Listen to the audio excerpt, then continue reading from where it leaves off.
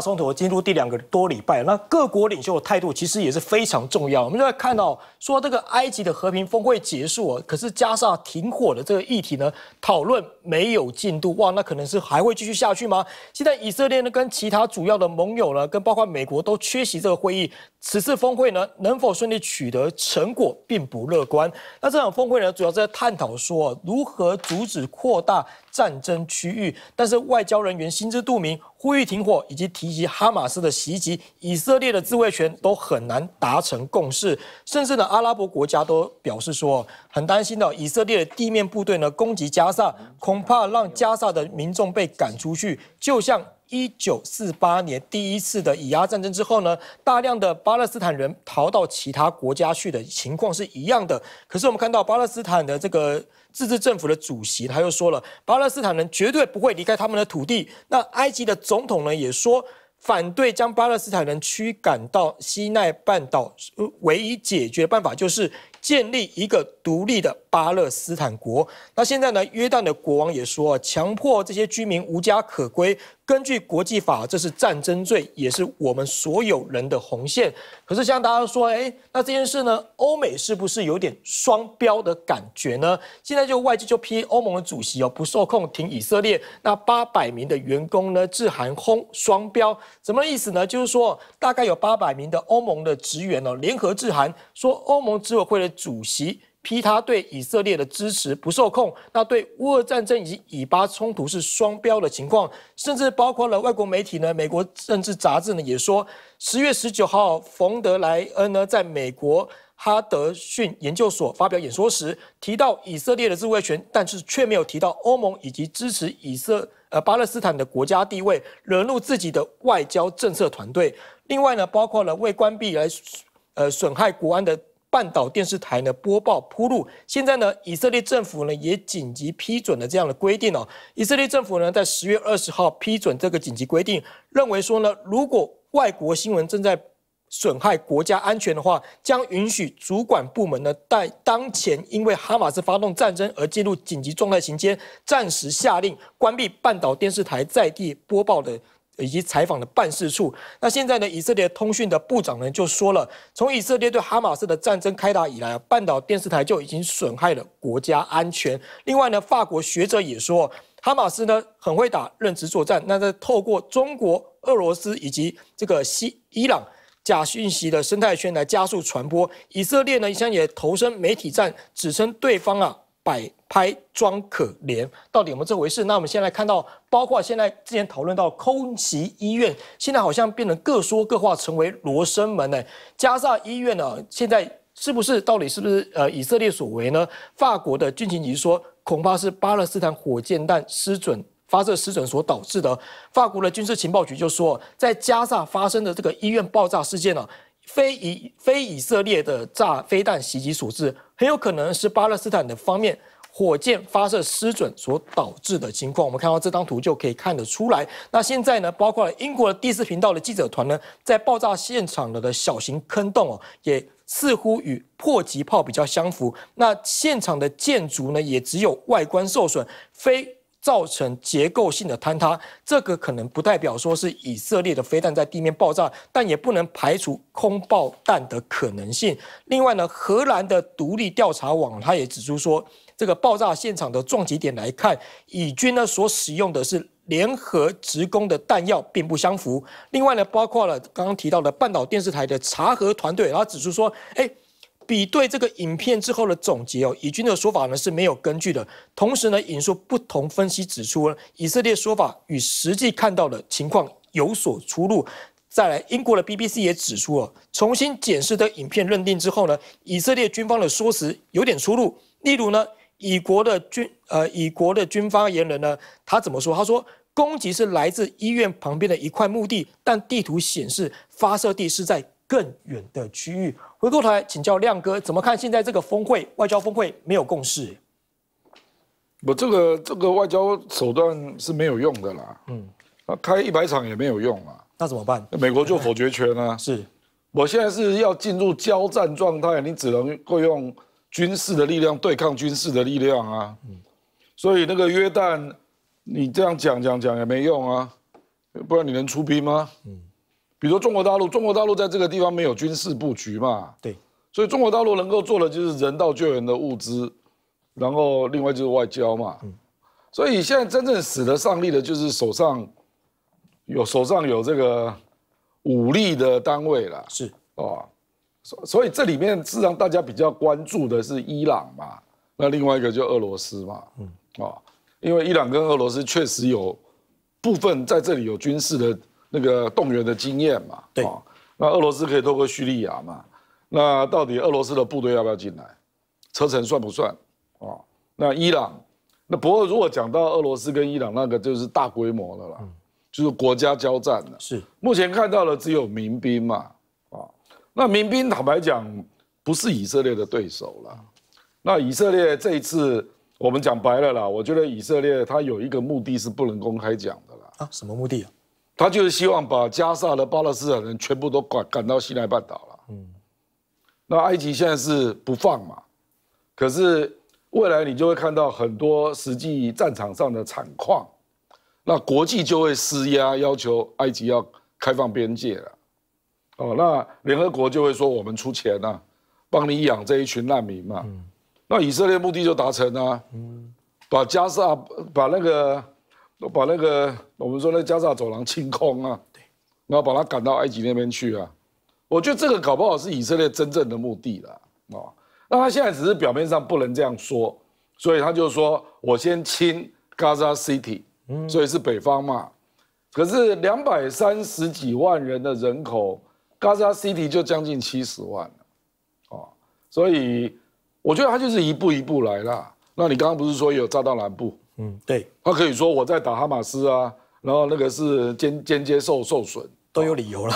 不，他就是会这样干啊。这个，因为对他来讲，这个是灭国之忧啊。是啊，因为以前他没有想过哈马斯会有这样的武器嘛，所以不管是越过那个八尺八公尺的围墙啊，或者是手上突然之间有那么多火箭弹，那还有无人机哦，他。他觉得这个已经是灭国之忧了啦，所以他一定会痛打，而且会坚持到底啊！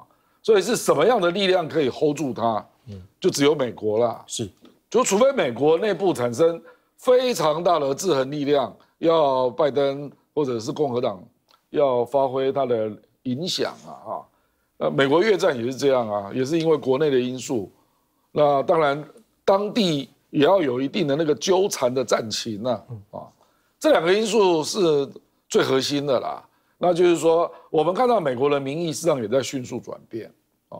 刚刚那个左老师有讲到，年轻人对巴勒斯坦是比较同情的。事实上，年轻人支持以色列只有三十，只有二十七 percent。那六十岁以上支持以色列是八十一 percent。现在在美国了，是哦，这个 CNN 公布的民调啊。那随着地面战争摊开。无辜的平民越死越多，我认为这个民民调一定会更戏剧性的产生变化。嗯，是我们先接段广告，广告回来继续讨论。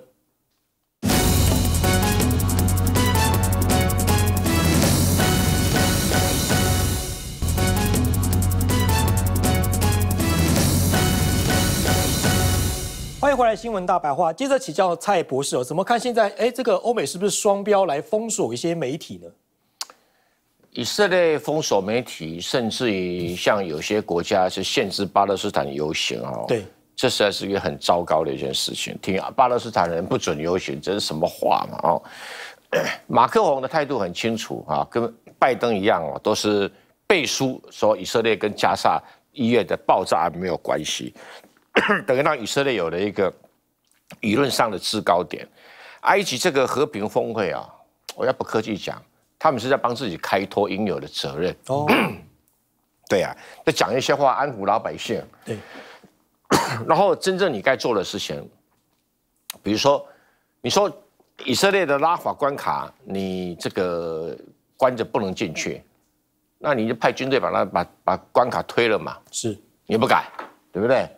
然后你不敢跟以色列来一个武装的摩擦，都不敢，都不敢。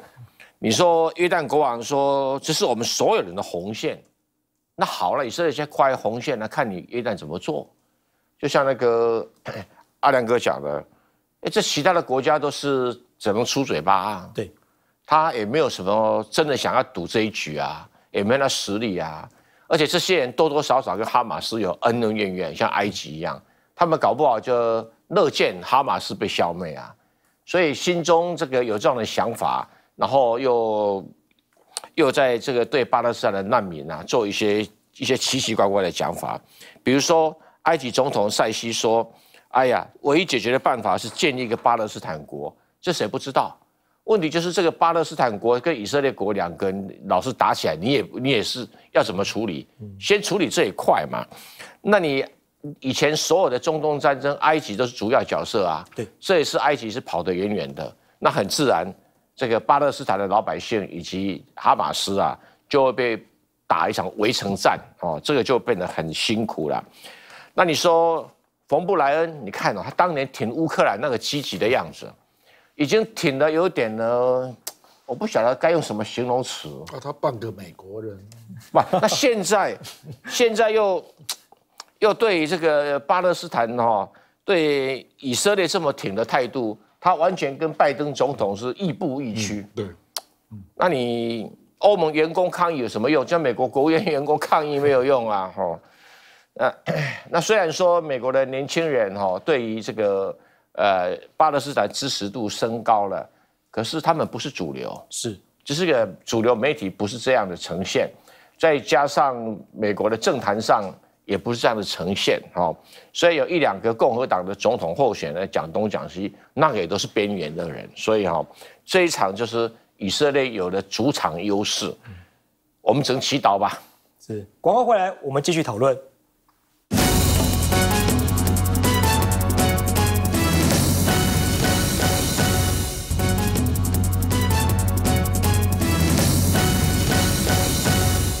迎回来，新闻大白话。最后请教左老师，你怎么看？好，未来大概就是一个混合战了，不只是这个加沙的战场，而且在全世界的这个舆论战场上，也会看到支持以色列的跟反对以色列的、同情巴勒斯 同情巴勒斯坦人的这样子两股声音，不断的在相互交战。那当然，就很多交战的基础是在于很多就是在战场上发生的事情。可是，在战场上发生的事情本来就很难厘清，比如像到底多少人被哈马斯绑到了加沙去？是那。礼拜五，以色列说是这个两百零六人。那今天最新的数字，这个哈马斯说是两百一十人，以色列这边说是两百一十二人，所以到底几个人还不知道。第二个，像医院被炸这个事情，当然以色列方面就说，你看那个炸弹的这个口径啊，或者它大小啊，啊或者它的位置啊，它是打在停车场，不是打在这个这个它的建筑物啊，说它应该是旁边的这个所谓的场旁边的这个建筑物射出来的，而不是从空中掉下来的。好，那这些当然都是双方各执一词啊，包括死多少人一。百人还是五百人还是七百人？但现在的一个问题就是说，到底如何去澄清这些事情？所以你需要提供更多的证据，比如像说这个呃，最近有一个说法是说，哦，哈马斯其实原来并没有想要绑架那绑架人质的，但是后来因为跟着一一些一些巴勒斯坦人跟着哈马斯冲进以色列境内的时候，他们去绑架了人，但结果后来以色列就说公布了说，哦，在死亡的哈马斯的战士身上找到了一个说这个指令，说是要绑架人质，哦，所以说这个其实很多都是。需要后续的证据不断的去澄清。那以色列现在说要关关闭这个半岛电视台，那其实也最近也有半岛电视台说，哦，以色列是不愿意接受这个释放人质。他说，只你要释放人质，直接把人质往这个埃及边境释放就好了，你根本不需要跟我去洽谈。那这意思就是说，他拒绝，而且他还要继续进攻。那当然，以色列就很不满这样子的新闻，是要关掉半岛电视台。可是我们澄清消息最好的方法是什么？是让更多的消息出来，那大家相互比对。我们相信这个读者的智慧，我们相信人民的判断。我觉得这个才是我们面对假消息最好的方式，而不是对任何消息一开始就说这个是假的，你不要相信这个。而那种说法。